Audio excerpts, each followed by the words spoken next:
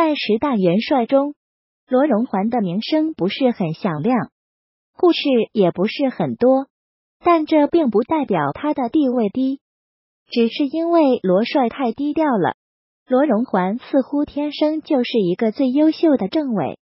一九三零年，红一军团成立，林彪被任命为红四军军长。因林彪个性太强，不善于跟人相处，因此派谁跟他搭档，成了一个不小的难题。毛主席遍览珠江，最后将目光落在了罗荣桓身上。罗帅是一个天生善于团结同志的人。在他的辅佐下，林彪的军事天才发挥的淋漓尽致，更是将红四军的后勤训练安排的井井有条。毛主席兴奋地说：“谁说林彪难缠？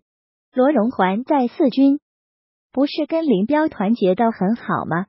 在我军中，林彪军事才能极强，但个性也是极强，能跟他相安无事的人。”少之又少，但罗帅却最擅长此道。从红四军到红一军团，再到八路军幺幺五师，最后波澜壮阔的第四野战军，罗帅一直是林彪的政委。可以说，正是有了罗帅的辅佐，林彪的军事天才才能发挥的如此淋漓尽致。但实际上，罗帅并不只是一个政委。在主持大局上，同样是卓越的统帅级人物。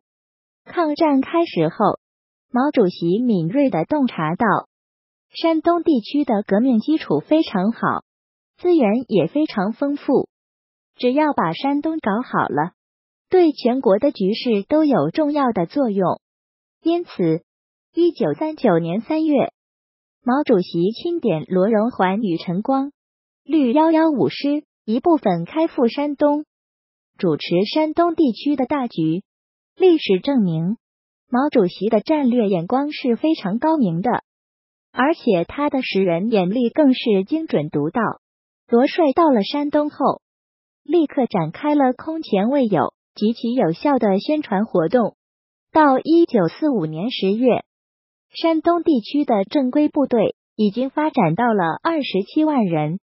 占到了当时共产党军队总数的四分之一，而且地方武装也发展到了五十多万人，支援革命的群众达到了两千七百多万。关于三野和四野谁更强，一直是人们津津乐道的话题。但实际上，四野大多数主力部队都是从山东调过去的，都是罗帅一手培养出来的。后来，毛主席高度评价说：“山东只换上一个罗荣桓，山东全域性的旗就下活了。山东的旗下活了，全国也就活了。山东把所有的战略点线都抢占和包围了，只有山东全省是我们完整的、最重要的战略基地。北占东北，南下长江，都主要依靠山东。”连一向最不服人的许世友，也对罗帅极为敬佩。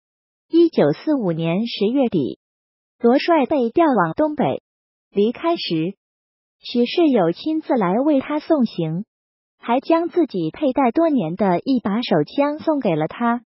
据许世友身边的人说，在十大元帅中，许世友最尊重的人，第一是朱老总。第二就是罗荣桓。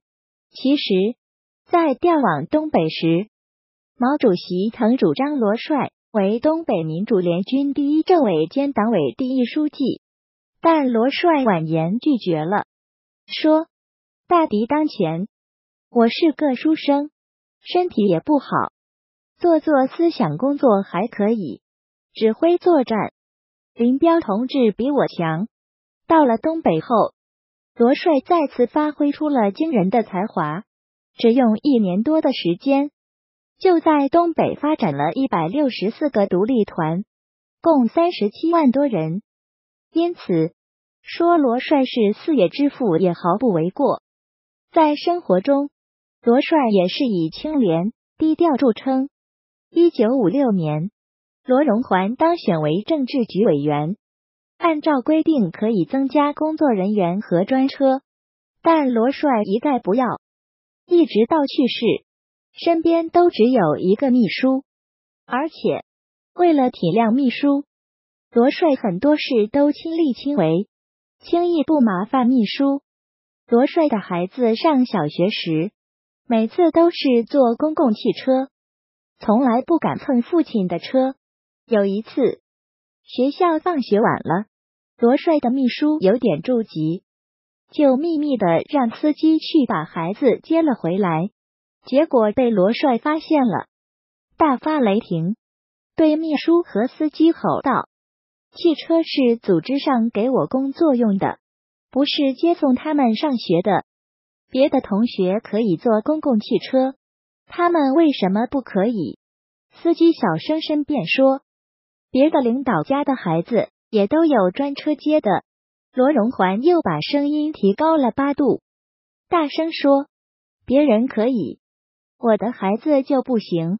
因长期带病工作，罗帅的身体越来越衰弱。”一九六三年十二月十五日，罗帅逝世前一天晚上，拉住夫人林月琴的手，说：“我死以后，分给我的房子不要再住了，搬到一般的房子去，不要特殊。”十二月十九日下午，中央军委为罗帅举行了一场隆重的追悼会，毛主席、刘少奇、周恩来都来了。